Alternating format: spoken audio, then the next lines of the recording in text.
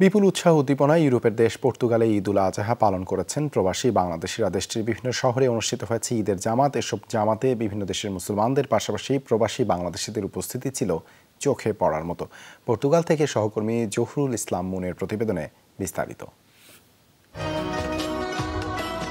ঈদের আনন্দ ছড়িয়ে পড়েছে পর্তুগালের সর্বস্তরের ধর্মপ্রাণ মুসল্লিদের মাঝে। মার্তিম মুনিস পার্কে অনুষ্ঠিত হয়েছে ঈদুল আজহার প্রধান জামাত।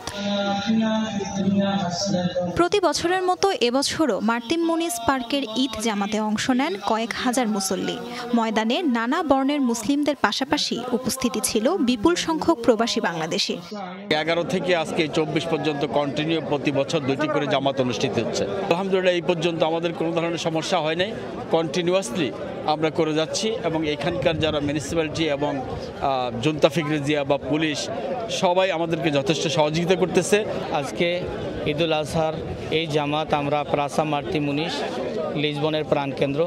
এখানে খোলা আকাশের নিচে আদায় করেছি। আমরা প্রতি বছরই ঈদুল আজহা এবং ঈদুল ফেতরের দুটি জামাত আমরা এখানে করে থাকি।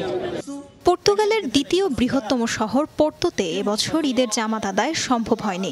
তবে রাজধানী লিসবনের কেন্দ্রীয় জামে মসজিদ সহ শতাধিক এলাকায় অনুষ্ঠিত হয়েছে ঈদের জামাত।